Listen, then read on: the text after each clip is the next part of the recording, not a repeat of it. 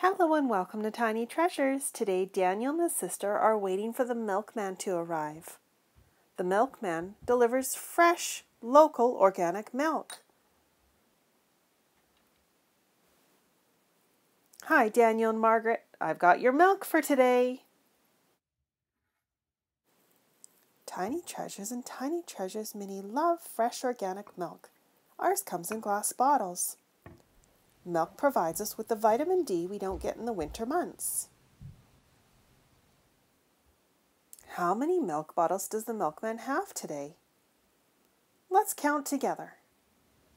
One, two, three, four, five, and six.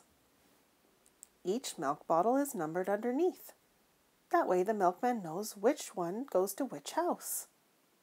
Okay, Daniel and Margaret, your mom gave you a special treat of chocolate milk this week. And she also ordered a 3% white milk. It's the one with the red lid.